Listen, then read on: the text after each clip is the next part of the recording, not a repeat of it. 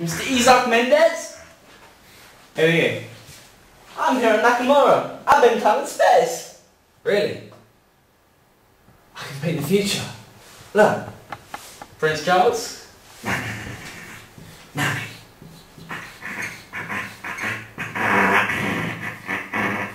Guinness.